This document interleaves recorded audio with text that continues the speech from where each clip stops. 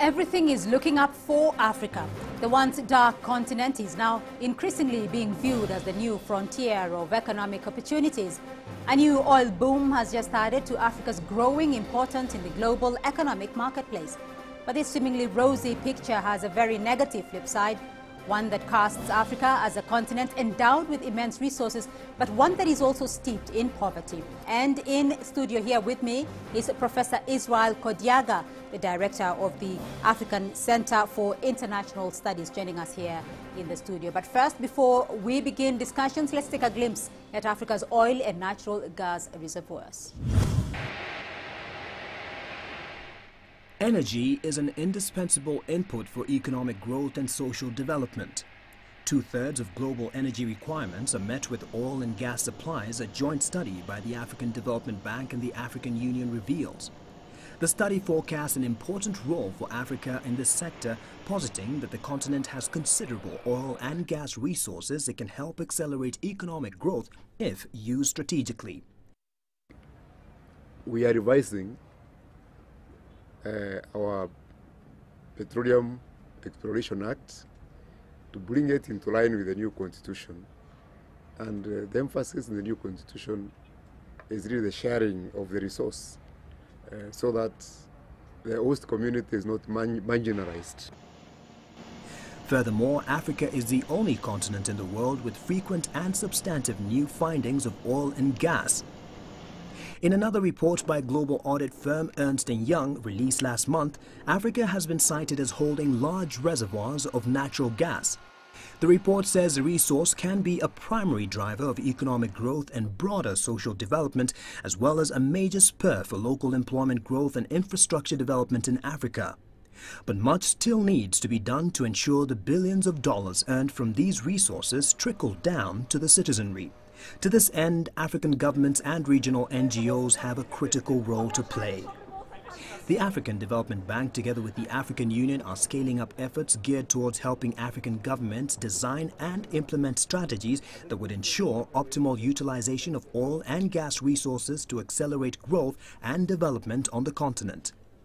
This could herald a new era of transparency, accountability, and good governance and end years of politics of state patronage, instability, and extreme deprivation that has been linked to this important resource in Africa. Uh, Professor Kodiaga. Thank you very much. Uh, the question of the discovery of oil, vast oil resources, is it a curse or a blessing? The issue here is that the discovery itself is a blessing.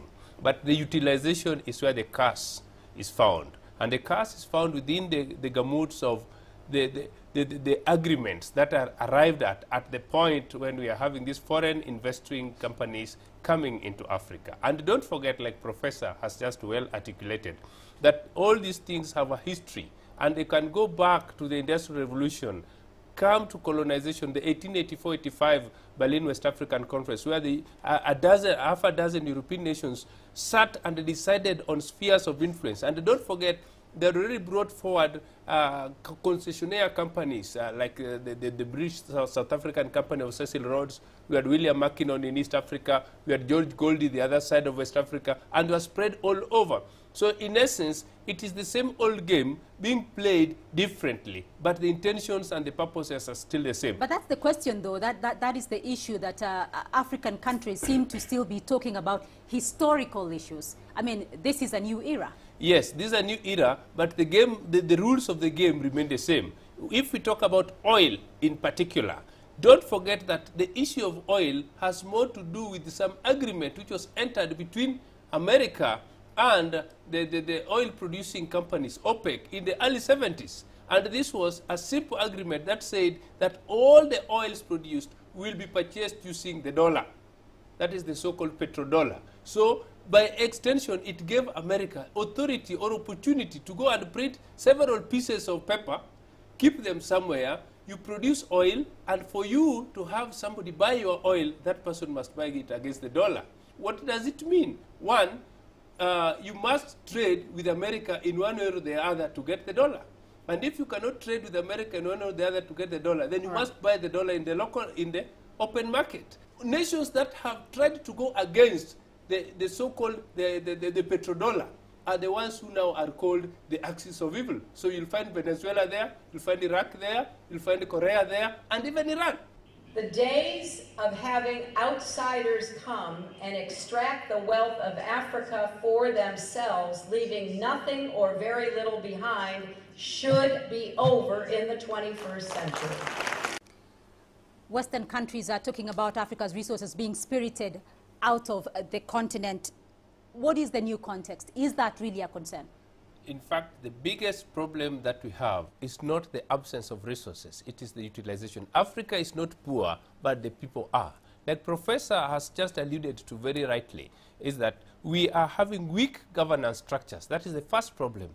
Two, when these agreements are signed, they are signed, they are, they are, not, they are not made in the open. So the, the people are not aware of, of, of, the, of, of the details of the agreements. Thirdly, most of these companies have no concern of the populace around the, the, the, the, areas, like in the case of Nigeria, which we are talking about. You find Nigeria produces 2 million barrels of oil per day, which is 60% of what Iran produces, and a quarter of what Saudi Arabia produces. But Nigeria still is amongst the poorest nations in the world, with uh, over 70% of the population living below a dollar. Look at that contrast. How come they have uh, the, the, the, the, largest producer of oil and they are in fact the fourth largest exporter of oil to America. So why this disparity though? This disparity is as a result of what we, what we call the oil diplomacy. Today, you find there are restive groups in Nigeria. We have this Boko Haram, uh, who are talking about seceding and moving the north, and then the Christian south would only be too happy to secede also, to, to stay away from the, I mean, to, to leave their Muslim brothers to move to the north and they remain to the south. What does that mean? It means during that turmoil, during that instability, the Western multinationals make a kill. So they actually instigate this, uh, this, these conflicts. They instigate balkanization with the aim of profiting. The point is Africans must take their destiny into their own hands. Look at the BRICS relationship that Africa is having with, with Brazil, Russia, uh, India, and China.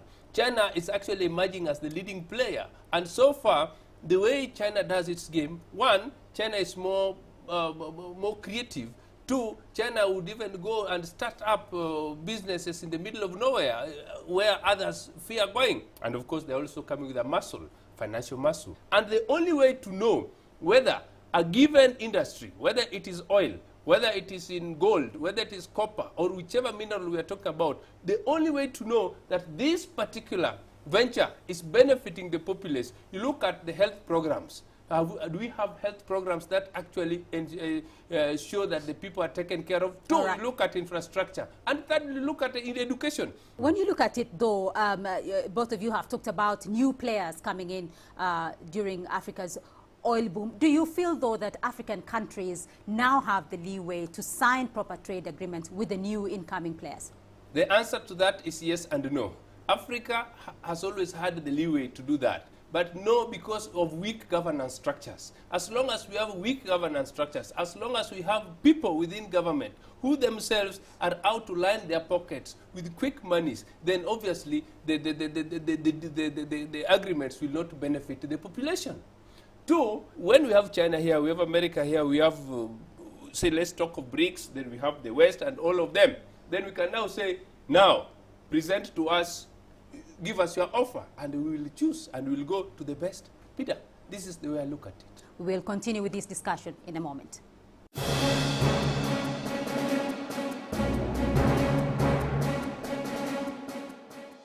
Welcome back to the program. So how can Africa harness her potential for the benefit of the citizenry? And what best practices and lessons are there for Africa to learn from? All right, should countries like Kenya, Uganda, uh, Mozambique, Ghana be celebrating? The answer to that is no. Because uh, the first danger is chaos that are instigated basically when a, a country is going to get oil, you'll find there will always be chaos uh, the, the, the, or, or, some mineral, there will always be chaos. And these chaos are usually instigated by the old players. So I agree with Professor that one, we must have a paradigm shift. And therefore, as we plan to harness these resources, now we must be more smarter. We must be smarter to ensure that they do not bring around us gangs who are going to ensure that there is instability and so that the oil or the new resources do not benefit the, the, the, populace. But we have to right our wrongs, and some of the wrongs have been well articulated by Professor Guto. Corruption is one of them. Uh, weak governance structures is another one. Uh, issues about capital flight and other things are, are, issues that must be addressed. And like our, our, our, our good Kofi Annan says, the agreements must be mutually beneficial so that posterity will judge us positively. All right. Uh, various African leaders have talked uh, continuously about uh, the new leadership across the continent and a new way of doing business on the continent. Let's listen in on what uh, President Johnson Sirleaf has to say. I think that's going to be our greatest challenge, that we make sure we continue our diversification effort, that we don't concentrate on oil, that we make sure it's not a curse and we use it not only for current generation, but we come up with mechanisms and approaches that will secure its use and its benefit for future generation. I think many African countries are conscious of what happened in the past and are going to use best practices from all around the world to ensure that uh, this resource is used for the good of the people and for the development of our continent. Professor Kodiaga, a lot has been talked about expertise, best practices, but one of the issues that has been hampering uh, the growth of Africa's development has been this question of uh, technology. Do we feel now, though, that uh, enough technology transfer has been undertaken over the past years to enable Africa's uh, probably process how on raw materials?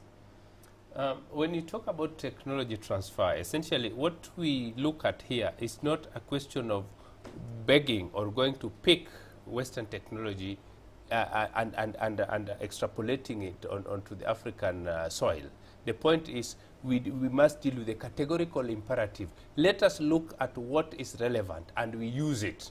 And, and, and when we are talking about technological transfer, we also talk about counter-penetration technologically. We are not saying that Africa must be a dependent and a consumer of Western technology. We must also counter-penetrate. And you know as well as I do that there are indeed quite a lot of advancements which have been made which we can actually turn productively.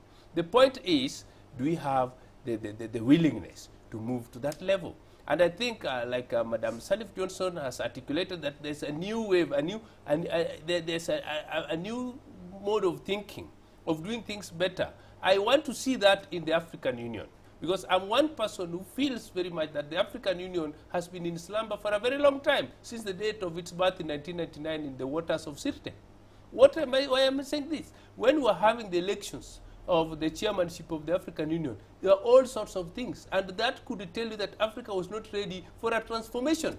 There are those who are very comfortable with the status quo. And in fact, it took the grace of, grace of God, resilience, and some, some kind of uh, cunning genius to have Madam uh, Dlamini Zuma assume the chair. And we do know that she has the capacity to now transform that body. So how then are you expecting that transformation to take place? That transformation is gradual and, and in many ways I, I, I, would, I, would, I would talk about the citizenry demanding their rights, which in essence is, is, is, is, is actually prescribing revolution. But it's a revolution in the constitutional sense, the same way that Kenya went through a revolution constitutionally. So it is the more that the African populace demand for better governance, the more the African populace demand for services, the more the better the African populace demand for accountability from their leadership, the more that the leadership will wake up to the reality that they must transform this continent. All right, Professor Israel Kodiaga, Director of the Center for International Studies, thank you very much for being uh, here on Talk Africa. I'm Beatrice Marshall in Nairobi. Bye-bye.